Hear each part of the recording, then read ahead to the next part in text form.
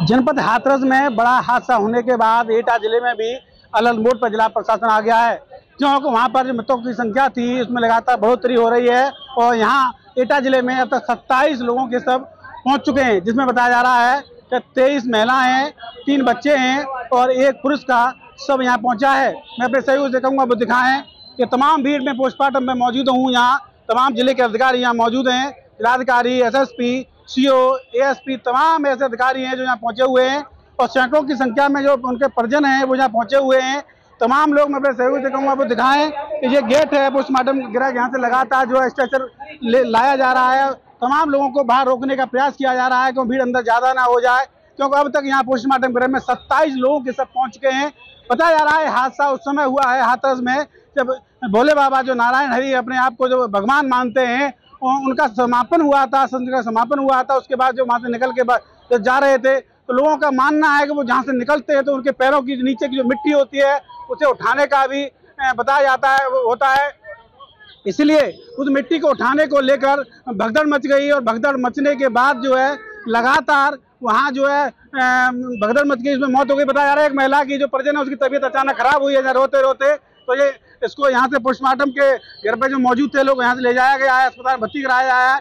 क्योंकि सत्ताईस सब बेटा पहुँचे हैं, कुछ हाथरस पहुँचे हैं, कुछ बताया जा रहा है अन्य जिलों में भी जो सब पहुँचाए गए हैं, क्यों कई लोग घायल हुए थे उनको जिला अस्पताल में भर्ती कराने के लिए, आसपास के जो अस्पताल थे वहाँ पहुँचाया गया था। जनपद हाथरस में बड़ा हादसा होने के बाद एटा ज़िले में भी अलर्ट मोड पर जिला प्रशासन आ गया है।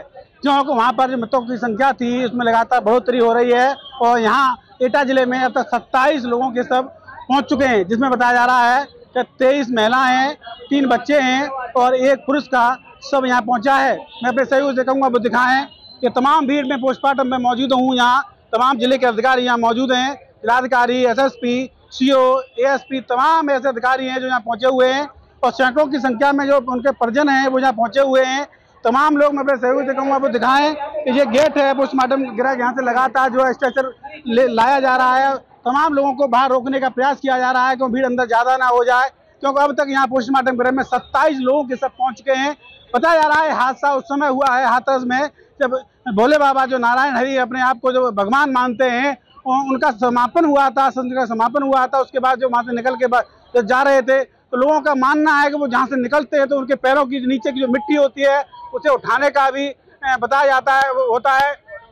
इसलिए उस मिट्टी को उठाने को लेकर भगदड़ मच गई और भगदड़ मचने के बाद जो है, लगातार वहाँ जो है भगदड़ मच गई। इसमें मौत हो गई। बताया जा रहा है एक महिला की जो परिजन है, उसकी तबीयत अचानक खराब हुई है रोते रोते। तो ये इसको यहाँ से पोस्टमार्टम के घर पर जो मौजूद थे, लोग यहाँ से ले जाया गया है अस्पताल भर्ती कराया गया है क्योंकि सत्ताईस सब बेटा पहुँचे हैं, कुछ हाथरस पहुँचे हैं, कुछ बताया जा रहा है अन्य जिलों में भी जो सब पहुँचाए गए हैं क्यों कई लोग घायल हुए थे उनको जिला अस्पताल भर्ती कराने के लिए। आसपास के जो अस्पताल थे, वहाँ पहुँचाया गया था।